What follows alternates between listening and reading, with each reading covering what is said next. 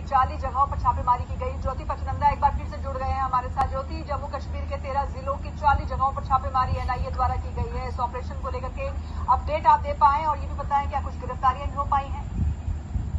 NIA का दावा है कि जमात इस्लामी ऑर्गेनाइजेशन है, जो बैंड है और वो कहीं ना कहीं टेरर फंडिंग में इन्वॉल्व है। और उसी के चलते उन्होंने उनके जो प्रेसिडेंट है, डॉक्टर हामिद फयाज उनके घर के अलावा और भी 40 जगहों पर रेड की है।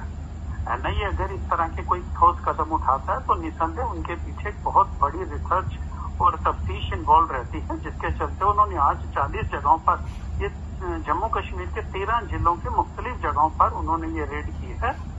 तो निसंदेह अभी रेड चल रही है, इसमें क्या निकल कर आता है, ये तो थोड़े समय के बाद ही पता चलेगा। लेकिन एनआईए की जो रेड है, वो इसी सिलसिले में है कि उनको उनका दावा है कि जो जमात इस्लामी ऑर्गेनाइजेशन है वो कहीं ना कहीं टेरर फंडिंग में या और भी कई मुख्तलिफ़ जो एंटी नेशनल एलिमेंट है उनमें इन्वॉल्वमेंट है।